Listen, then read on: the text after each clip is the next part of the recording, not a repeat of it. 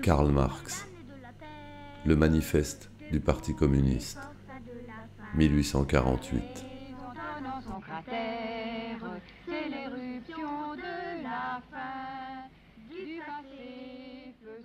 Le congrès de la Ligue communiste, qui se tint à Londres en novembre 1847, chargea Marx et Engels d'élaborer et de publier sous forme de manifeste le programme théorique et pratique du Parti communiste. Écrit en allemand dans le courant de janvier 1848, le manifeste était envoyé à l'imprimerie de Londres quelques semaines avant la révolution du 24 février. La traduction française parut à Paris peu de temps avant l'insurrection de juin. Elle est devenue introuvable.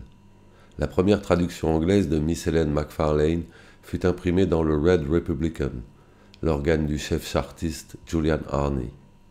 Des éditions danoises et polonaises furent également faites à l'époque. En 1863, le Colocol de Herzen, en 1872, et Socialista de Madrid, et dernièrement la Critica Sociale de Milan le reproduisirent en russe, espagnol et italien. La traduction française que nous donnons, faite par Laura Lafargue, a été revue par Frédéric Engels. Près d'un demi-siècle s'est écoulé depuis l'apparition de ce manifeste, et les phénomènes économiques et politiques qui se sont produits dans cet intervalle n'ont fait que confirmer les vues théoriques des deux penseurs communistes. Le manifeste de 1848, qui est un des plus importants documents historiques du socialisme scientifique, demeure aujourd'hui encore le saisissant et exact opposé de la marche évolutive de la société capitaliste et de la formation de ces deux classes antagonistes, la bourgeoisie et le prolétariat. Bien que certaines parties aient vieilli et que d'autres demanderaient des retouches, ainsi que le constataient Marx et Engels dans la préface de l'édition allemande du manifeste, publiée en 1872.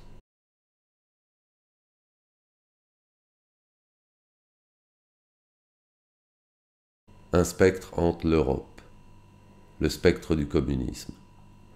Toutes les puissances de la vieille Europe se sont unies en une sainte alliance pour traquer ce spectre. Le pape et le tsar, Metternich et Guizot, les radicaux de France et les policiers d'Allemagne. Quelle est l'opposition que l'on n'a pas accusée de communisme ses adversaires au pouvoir? Quelle est l'opposition qui, à son tour, n'a pas relancé à ses adversaires de droite ou de gauche l'épithète flétrissante de communiste? Deux choses ressortent de ces faits. 1. Déjà le communisme est reconnu par toutes les puissances d'Europe comme une puissance. 2. Il est grand temps que les communistes exposent à la face du monde entier leur manière de voir, leurs buts et leurs tendances, qu'ils opposent au compte du spectre communiste un manifeste du parti. Dans ce but, des communistes de diverses nationalités se sont réunis à Londres et ont rédigé le manifeste suivant, qui sera publié en anglais, français, allemand, italien, flamand et danois. Chapitre 1 Bourgeois et prolétaires L'histoire de toute société jusqu'à nos jours n'a été que l'histoire des luttes de classes. Hommes libres et esclaves, patriciens et plébéiens, barons et serfs, maîtres de jurantes et compagnons, en un mot, oppresseurs et opprimés, en opposition constante, ont mené une guerre ininterrompue, tantôt ouverte, tantôt dissimulée. Une guerre qui finissait toujours ou par une transformation révolutionnaire de la société tout entière, ou par la destruction des deux classes en lutte. Dans les premières époques historiques, nous constatons presque partout une division hiérarchique de la société, une échelle graduée de positions sociales. Dans la Rome antique, nous trouvons des patriciens, des chevaliers, des plébéiens et des esclaves. Au Moyen Âge, des seigneurs, des vassaux, des maîtres, des compagnons, des serfs. Et, dans chacune de ces classes, des gradations spéciales. La société bourgeoise moderne élevée sur les ruines de la société féodale, n'a pas aboli les antagonismes de classe. Elle n'a fait que substituer aux anciennes de nouvelles classes, de nouvelles conditions d'oppression, de nouvelles formes de lutte. Cependant, le caractère distinctif de notre époque, de l'ère de la bourgeoisie, est d'avoir simplifié les antagonismes de classe. La société se divise de plus en plus en deux vastes camps opposés, en deux classes ennemies, la bourgeoisie et le prolétariat des serfs du Moyen Âge naquirent les éléments des premières communes. De cette population municipale sortirent les éléments constitutifs de la bourgeoisie. La découverte de l'Amérique, la circumnavigation de l'Afrique offrirent à la bourgeoisie naissante un nouveau champ d'action. Les marchés de l'Inde et de la Chine, la colonisation de l'Amérique, le commerce colonial, l'accroissement des moyens d'échange et des marchandises imprimèrent une impulsion inconnue jusqu'alors au commerce, à la navigation, à l'industrie, et assurèrent par conséquent un rapide développement à l'élément révolutionnaire de la société féodale en dissolution. L'ancien mode de production ne pouvait plus satisfaire aux besoins qui croissaient avec l'ouverture de nouveaux marchés. Le métier, entouré de privilèges féodaux, fut remplacé par la manufacture. La petite bourgeoisie industrielle supplanta les maîtres de jurande. La division du travail entre les différentes corporations disparut devant la division du travail dans l'atelier même. Mais les marchés s'agrandissaient sans cesse. La demande croissait toujours. La manufacture, elle aussi, devint insuffisante. Alors la vapeur et la machine révolutionnèrent la production industrielle. La grande industrie moderne supplanta la manufacture. La petite bourgeoisie manufacturière céda la place aux industriels millionnaires, chefs d'armée de travailleurs, aux bourgeois modernes. La grande industrie a créé le marché mondial, préparé par la découverte de l'Amérique le marché mondial accéléra prodigieusement le développement du commerce, de la navigation, de tous les moyens de communication. Ce développement réagit à son tour sur la marche de l'industrie, et au fur et à mesure que l'industrie, le commerce, la navigation, les chemins de fer se développaient, la bourgeoisie grandissait, décuplant ses capitaux et refoulant à l'arrière-plan les classes transmises par le Moyen Âge. La bourgeoisie, nous le voyons, est elle-même le produit d'un long développement, d'une série de révolutions dans les modes de production et de communication. Chaque étape de l'évolution parcourue par la bourgeoisie était accompagnée d'un progrès politique correspondant.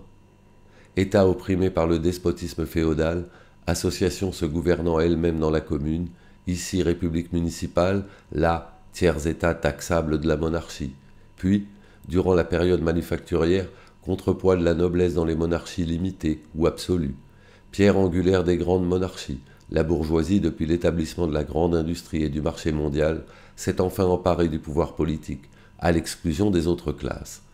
Dans l'État représentatif moderne, le gouvernement moderne n'est qu'un comité administratif des affaires de la classe bourgeoise. La bourgeoisie a joué dans l'histoire un rôle essentiellement révolutionnaire. Partout où elle a conquis le pouvoir, elle a foulé aux pieds les relations féodales, patriarcales et idylliques. Tous les liens multicolores qui unissaient l'homme féodal à ses supérieurs naturels, elle les a brisés sans pitié, pour ne laisser subsister d'autres liens entre l'homme et l'homme que le froid intérêt, que le dur argent comptant. Elle a noyé l'extase religieuse, l'enthousiasme chevaleresque, la sentimentalité du petit bourgeois dans les eaux glacées du calcul égoïste. Elle a fait de la dignité personnelle une simple valeur d'échange. Elle a substitué aux nombreuses libertés, si chèrement conquises, l'unique et impitoyable liberté du commerce. En un mot, à la place de l'exploitation, voilée par des illusions religieuses et politiques, elle a mis une exploitation ouverte, directe, brutale et hontée. La bourgeoisie a dépouillé de leur auréole toutes les professions jusqu'alors réputées vénérables et vénérées. Du médecin, du juriste, du prêtre, du poète, du savant, elle a fait des travailleurs salariés la bourgeoisie a déchiré le voile de sentimentalité qui recouvrait les relations de famille et les a réduites à n'être que de simples rapports d'argent. La bourgeoisie a démontré comment la brutale manifestation de la force au Moyen Âge, si admirée de la réaction, trouve son complément naturel dans la plus crasse paresse. C'est elle qui, la première, a prouvé ce que peut accomplir l'activité humaine. Elle a créé bien d'autres merveilles que les pyramides d'Égypte les aqueducs romains, les cathédrales gothiques. Elle a conduit bien d'autres expéditions que les antiques migrations de peuples et les croisades. La bourgeoisie n'existe qu'à la condition de révolutionner sans cesse les instruments de travail, ce qui veut dire le mode de production, ce qui veut dire tous les rapports sociaux. La conservation de l'ancien mode de production était, au contraire, la première condition d'existence de toutes les classes industrielles antérieures. Ce bouleversement continuel des modes de production ce constant ébranlement de tout le système social, cette agitation et cette insécurité perpétuelle distinguent l'époque bourgeoise de toutes les précédentes. Tous les rapports sociaux traditionnels et figés, avec leur cortège de croyances et d'idées admises et vénérées, se dissolvent. Celles qui les remplacent deviennent surannées avant de se cristalliser. Tout ce qui était solide et stable est ébranlé, tout ce qui était sacré est profané, et les hommes sont forcés enfin d'envisager leurs conditions d'existence et leurs relations réciproques avec des yeux dégrisés. Poussée par le besoin de débouchés toujours nouveaux, la bourgeoisie envahit le globe entier. Il lui faut pénétrer partout, s'établir partout, créer partout des moyens de communication. Par l'exploitation du marché mondial, la bourgeoisie donne un caractère cosmopolite à la production et à la consommation de tous les pays. Au désespoir des réactionnaires, elle a enlevé à l'industrie sa base nationale. Les vieilles industries nationales sont détruites ou sur le point de l'être. Elles sont supplantées par de nouvelles industries, dont l'introduction devient une question vitale pour toutes les nations civilisées. Industries qui n'emploient plus des matières premières indigènes, mais des matières premières venues des régions les plus éloignées, et dont les produits se consomment non seulement dans le pays même, mais dans tous les coins du globe. À la place des anciens besoins, satisfaits par les produits nationaux, naissent de nouveaux besoins, réclamant pour leur satisfaction les produits des contrées les plus lointaines et des climats les plus divers. À la place de l'ancien isolement des nations se suffisant à elles-mêmes, se développe un trafic universel, une interdépendance des nations. Et ce qui est vrai pour la production matérielle s'applique à la production intellectuelle. Les productions intellectuelles d'une nation deviennent la propriété commune de toutes. L'étroitesse et l'exclusivisme nationaux deviennent de jour en jour plus impossibles. Des nombreuses littératures nationales et locales se forment une littérature universelle. Par le rapide développement des instruments de production et des moyens de communication, la bourgeoisie entraîne dans le courant de la civilisation jusqu'aux nations les plus barbares. Le bon marché de ces produits est la grosse artillerie qui bat en brèche toutes les murailles de Chine et fait capituler les barbares les plus opiniâtrement hostiles aux étrangers. Sous peine de mort, elle force toutes les nations à adopter le mode de production bourgeois. En un mot, elle modèle le monde à son image. La bourgeoisie a soumis la campagne à la ville. Elle a créé d'énormes cités. Elle a prodigieusement augmenté la population des villes aux dépens de celle des campagnes, et par là, elle a préservé une grande partie de la population de l'idiotisme de la vie des champs. De même qu'elle a subordonné la campagne à la ville, les nations barbares ou demi-civilisées aux nations civilisées, elle a subordonné les pays agricoles aux pays industriels, l'Orient à l'Occident. La bourgeoisie supprime de plus en plus l'éparpillement des moyens de production, de la propriété et de la population. Elle a aggloméré les populations, centralisé les moyens de production et concentré la propriété dans les mains de quelques individus. La conséquence fatale de ces changements a été la centralisation politique. Des provinces indépendantes reliées entre elles par des liens fédéraux, mais ayant des intérêts, des lois, des gouvernements, des tarifs douaniers différents, ont été réunies en une seule nation, sous un seul gouvernement, une seule loi, un seul tarif douanier et un seul intérêt national de classe. La bourgeoisie, depuis son avènement à peine séculaire, a créé des forces productives plus variées et plus colossales que toutes les générations passées prises ensemble. La subjugation des forces de la nature, les machines, l'application de la chimie à l'industrie et à l'agriculture, la navigation à vapeur, les chemins de fer, les télégraphes électriques, le défrichement de continents entiers, la canalisation des rivières, des populations entières sortant de terre comme par enchantement.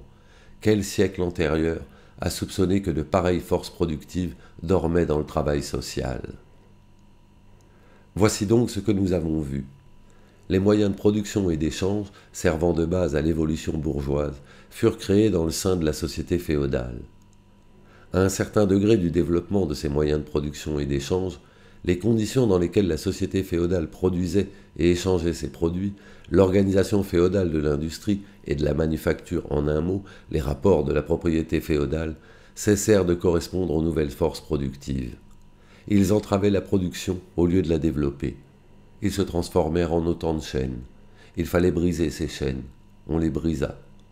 À la place s'éleva la libre concurrence, avec une constitution sociale et politique correspondante, avec la domination économique et politique de la classe bourgeoise. Sous nos yeux, il se produit un phénomène analogue. La société bourgeoise moderne, qui a mis en mouvement de si puissants moyens de production et d'échange, ressemble au magicien qui ne sait plus dominer les puissances infernales qu'il a évoquées. Depuis trente ans au moins, l'histoire de l'industrie et du commerce n'est que l'histoire de la révolte des forces productives contre les rapports de propriété qui sont les conditions d'existence de la bourgeoisie et de son règne. Il suffit de mentionner les crises commerciales qui, par leur retour périodique, mettent de plus en plus en question l'existence de la société bourgeoise. Chaque crise détruit régulièrement non seulement une masse de produits déjà créés, mais encore une grande partie des forces productives elles-mêmes. Une épidémie qui à toute autre époque eût semblé un paradoxe s'abat sur la société, l'épidémie de la surproduction. La société se trouve subitement rejetée dans un état de barbarie momentanée. On dirait qu'une famine, qu'une guerre d'extermination lui coupe tous les moyens de subsistance. L'industrie et le commerce semblent annihilés. Et pourquoi? Parce que la société a trop de civilisation, trop de moyens de subsistance, trop d'industrie, trop de commerce. Les forces productives dont elle dispose ne favorisent plus le développement des conditions de la propriété bourgeoise. Au contraire, elles sont devenues trop puissantes pour ces conditions qui se tournent en entraves. Et toutes les fois que les forces productives sociales s'affranchissent de ces entraves, elles précipitent dans le désordre la société tout entière et menacent l'existence de la propriété bourgeoise le système bourgeois est devenu trop étroit pour contenir les richesses créées dans son sein. Comment la bourgeoisie surmonte-t-elle ces crises? D'une part, par la destruction forcée d'une masse de forces productives, d'autre part par la conquête de nouveaux marchés et l'exploitation plus parfaite des anciens. C'est-à-dire qu'elle prépare des crises plus générales et plus formidables et diminue les moyens de les prévenir. Les armes dont la bourgeoisie s'est servie pour abattre la féodalité se retournent aujourd'hui contre la bourgeoisie elle-même. Mais la bourgeoisie n'a pas seulement forgé les armes qui doivent lui donner la mort, elle a produit aussi les hommes qui manieront ces armes, les ouvriers modernes, les prolétaires. Avec le développement de la bourgeoisie, c'est-à-dire du capital, se développe le prolétariat, la classe des ouvriers modernes qui ne vivent qu'à la condition de trouver du travail, et qui n'en trouvent plus dès que leur travail cesse d'agrandir le capital. Les ouvriers, contraints de se vendre au jour le jour, sont une marchandise comme tout autre article de commerce. Ils subissent par conséquent toutes les vicissitudes de la concurrence, toutes les fluctuations du marché. L'introduction des machines et la division du travail, dépouillant le travail de l'ouvrier de son caractère individuel, lui ont enlevé tout attrait. Le producteur devient un simple appendice de la machine. On exige de lui que l'opération la plus simple, la plus monotone, la plus vite apprise. Par conséquent, le coût de production de l'ouvrier se réduit à peu près aux moyens d'entretien dont il a besoin pour vivre et propager sa race. Or, le prix du travail, comme celui de toute marchandise, est égal au coût de sa production. Donc, plus le travail devient répugnant, plus les salaires baissent. Bien plus, la somme de travail s'accroît avec le développement de la machine et de la division du travail, soit par la prolongation de la journée de travail, soit par l'accélération du mouvement des machines. L'industrie moderne a transformé le petit atelier de l'ancien patron patriarcal en la grande fabrique du bourgeois capitaliste. Des masses d'ouvriers, entassés dans la fabrique, sont organisés militairement. Traités comme des soldats industriels, ils sont placés sous la surveillance d'une hiérarchie complète de sous-officiers et d'officiers. Ils ne sont pas seulement les esclaves de la classe bourgeoise, du gouvernement bourgeois, mais encore journellement et à toute heure les esclaves de la machine, du contremaître et surtout du maître de la fabrique. Plus ce despotisme proclame hautement le profit comme son but unique, plus il est mesquin, odieux et exaspérant. Moins le travail exige d'habileté et de force, c'est-à-dire plus l'industrie moderne progresse, plus le travail des hommes est supplanté par celui des femmes. Les distinctions d'âge et de sexe n'ont pas de validité sociale pour la classe ouvrière il n'y a plus que des instruments de travail dont le prix varie suivant l'âge et le sexe. Une fois que l'ouvrier a subi l'exploitation du fabricant et qu'il a reçu son salaire en argent comptant, il devient la proie d'autres membres de la bourgeoisie, du petit propriétaire, du prêteur sur gage. La petite bourgeoisie, les petits industriels, les marchands, les petits rentiers, les artisans et les paysans propriétaires tombent dans le prolétariat. D'une part parce que leurs petits capitaux ne leur permettent pas d'employer les procédés de la grande industrie, ils succombent dans leur concurrence avec les grands capitalistes. D'autre part parce que leur habileté spéciale est dépréciée par les nouveaux modes de production, de sorte que le prolétariat se recrute dans toutes les classes de la population. Le prolétariat passe par différentes phases d'évolution. Sa lutte contre la bourgeoisie commence dès sa naissance. D'abord, la lutte est engagée par des ouvriers isolés, ensuite par les ouvriers d'une même fabrique, enfin par les ouvriers du même métier dans une localité contre le bourgeois qui les exploite directement. Ils ne se contentent pas de diriger leurs attaques contre le mode bourgeois de production, ils les dirigent contre les instruments de production. Ils détruisent les marchandises étrangères qui leur font concurrence, brise les machines, brûle les fabriques et s'efforce de reconquérir la position perdue de l'artisan du Moyen Âge. À ce moment du développement, le prolétariat forme une masse incohérente, disséminée sur tout le pays et désunie par la concurrence. Si parfois les ouvriers s'unissent pour agir en masse compacte, cette action n'est pas encore le résultat de leur propre union, mais de celle de la bourgeoisie qui, pour atteindre ses fins politiques, doit mettre en branle le prolétariat tout entier, et qui, pour le moment, possède encore le pouvoir de le faire. Durant cette phase, les prolétaires ne combattent pas encore leurs propres ennemis, mais les ennemis de leurs ennemis, c'est-à-dire les restes de la monarchie absolue, les propriétaires fonciers, les bourgeois non industriels, les petits bourgeois. Tout le mouvement historique est de la sorte concentré entre les mains de la bourgeoisie. Toute victoire remportée dans ces conditions est une victoire bourgeoise. Or, l'industrie en se développant non seulement grossit le nombre des prolétaires, mais les concentre en masse plus considérable. Les prolétaires augmentent en force et prennent conscience de leur force. Les intérêts, les conditions d'existence des prolétaires s'égalisent de plus en plus, à mesure que la machine efface toute différence dans le travail et presque partout réduit le salaire à un niveau également bas. La croissante concurrence des bourgeois entre eux et les crises commerciales qui en résultent rendent les salaires de plus en plus incertains. Le constant perfectionnement de la machine rend la position de l'ouvrier de plus en plus précaire. Les collisions individuelles entre l'ouvrier et le bourgeois prennent de plus en plus le caractère de collision entre deux classes. Les ouvriers commencent par se coaliser contre les bourgeois pour le maintien de leur salaire. Ils vont jusqu'à former des associations permanentes en prévision de ces luttes occasionnelles. Ça et là, la résistance éclate en émeute. Parfois, les ouvriers triomphent, mais c'est un triomphe éphémère. Le véritable résultat de leur lutte est moins le succès immédiat que la solidarité croissante des travailleurs. Cette solidarisation est facilitée par l'accroissement des moyens de communication, qui permettent aux ouvriers de localités différentes d'entrer en relation. Or, il suffit de cette mise en contact pour transformer les nombreuses luttes locales qui partout revêtent le même caractère en une lutte nationale, en une lutte de classe. Mais toute lutte de classe est une lutte politique, et l'union que les bourgeois du Moyen Âge mettaient des siècles à établir avec leurs chemins vicinaux, les prolétaires modernes l'établissent en quelques années par les chemins de fer. L'organisation du prolétariat en classe, et par suite en parti politique, est sans cesse détruite par la concurrence que se font les ouvriers entre eux. Mais elle renaît toujours, et toujours plus forte, plus ferme, plus formidable elle profite des divisions intestines des bourgeois pour les obliger à donner une garantie locale à de certains intérêts de la classe ouvrière, par exemple la loi de 10 heures de travail en Angleterre. En général, les collisions dans la vieille société favorisent de diverses manières le développement du prolétariat. La bourgeoisie vit dans un état de guerre perpétuelle, d'abord contre l'aristocratie, puis contre cette catégorie de la bourgeoisie dont les intérêts viennent en conflit avec les progrès de l'industrie, toujours enfin contre la bourgeoisie des pays étrangers.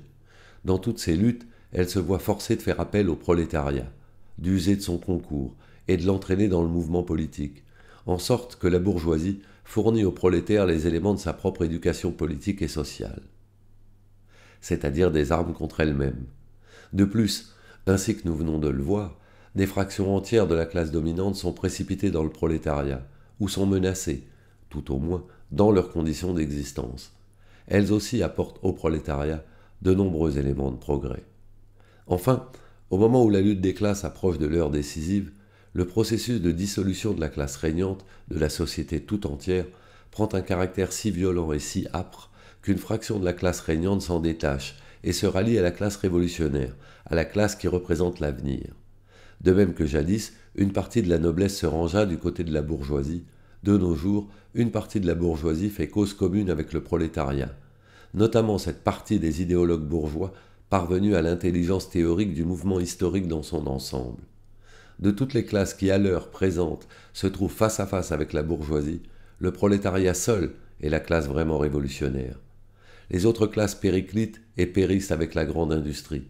Le prolétariat, au contraire, est son produit tout spécial. La classe moyenne, les petits fabricants, les détaillants, les artisans, les paysans, combattent la bourgeoisie, parce qu'elle compromet leur existence en tant que classe moyenne. Ils ne sont donc pas révolutionnaires mais conservateurs. Qui plus est, ils sont réactionnaires. Ils demandent que l'histoire fasse machine arrière. S'ils agissent révolutionnairement, c'est par crainte de tomber dans le prolétariat. Ils défendent alors leurs intérêts futurs et non leurs intérêts actuels. Ils abandonnent leur propre point de vue pour se placer à celui du prolétariat. La voyoucratie des grandes villes, cette putréfaction passive, cette lie des plus basses couches de la société, est ça et là entraînée dans le mouvement par une révolution prolétarienne. Cependant, ces conditions de vie la prédisposeront plutôt à se vendre à la réaction.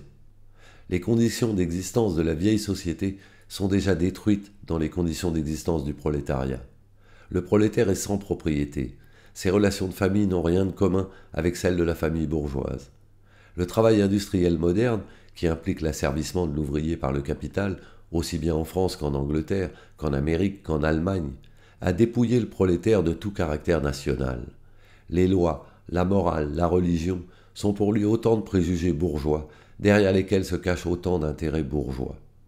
Toutes les classes précédentes qui avaient conquis le pouvoir ont essayé de consolider leur situation acquise en soumettant la société à leur propre mode d'appropriation les prolétaires ne peuvent s'emparer des forces productives sociales qu'en abolissant leur propre mode d'appropriation, et par suite le mode d'appropriation en vigueur jusqu'à nos jours.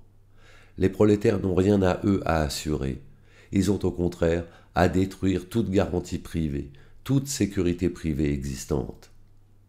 Tous les mouvements historiques ont été, jusqu'ici, des mouvements de minorité au profit de minorité.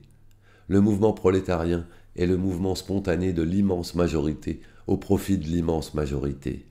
Le prolétariat, la dernière couche de la société actuelle, ne peut se relever, se redresser, sans faire sauter toutes les couches superposées qui constituent la société officielle. La lutte du prolétariat contre la bourgeoisie, bien qu'elle ne soit pas au fond une lutte nationale, en revêt cependant, tout d'abord, la forme. Il va sans dire que le prolétariat de chaque pays doit en finir avant tout avec sa propre bourgeoisie. En esquissant à grands traits les phases du développement prolétarien, nous avons décrit l'histoire de la guerre civile, plus ou moins occulte, qui travaille la société jusqu'à l'heure où cette guerre éclate en une révolution ouverte, et où le prolétariat établit les bases de sa domination par le renversement violent de la bourgeoisie. Toutes les sociétés antérieures, nous l'avons vu, ont reposé sur l'antagonisme de la classe oppressive et de la classe opprimée. Mais pour opprimer une classe, il faut au moins pouvoir lui garantir les conditions d'existence qui lui permettent de vivre en esclave. Le cerf, en pleine féodalité, parvenait à se faire membre de la commune. Le bourgeois, embryonnaire du Moyen Âge, atteignait la position de bourgeois, sous le joug de l'absolutisme féodal. L'ouvrier moderne, au contraire, loin de s'élever avec le progrès de l'industrie, descend toujours plus bas, au-dessous même du niveau des conditions de sa propre classe. Le travailleur tombe dans le paupérisme, et le paupérisme s'accroît plus rapidement encore que la population et la richesse. Il est donc manifeste que la bourgeoisie est incapable de remplir le rôle de classe régnante et d'imposer à la société comme loi suprême les conditions d'existence de sa classe. Elle ne peut régner parce qu'elle ne peut plus assurer l'existence à son esclave, même dans les conditions de son esclavage, parce qu'elle est obligée de le laisser tomber dans une situation telle qu'elle doit le nourrir au lieu de s'en faire nourrir. La société ne peut plus exister sous sa domination, ce qui revient à dire que son existence est désormais incompatible avec celle de la société. La condition essentielle d'existence et de suprématie pour la classe bourgeoise est l'accumulation de la richesse dans des mains privées, la formation et l'accroissement du capital. La condition du capital est le salariat. Le salariat repose exclusivement sur la concurrence des ouvriers entre eux. Le progrès de l'industrie, dont la bourgeoisie, courgeoisie, est l'argent passif et inconscient, remplace l'isolement des ouvriers par leur union révolutionnaire au moyen de l'association. Le développement de la grande industrie sape sous les pieds de la bourgeoisie le terrain même sur lequel elle a établi son système de production et d'appropriation. La bourgeoisie produit avant tout ses propres fossoyeurs. Sa chute et la victoire du prolétariat sont également inévitables.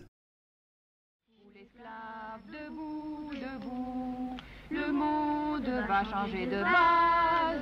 Nous ne sommes rien,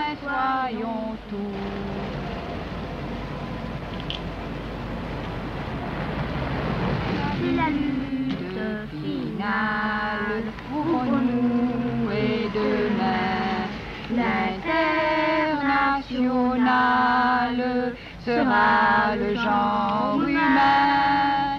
C'est la lutte finale. finale. Groupons-nous et demain, l'international.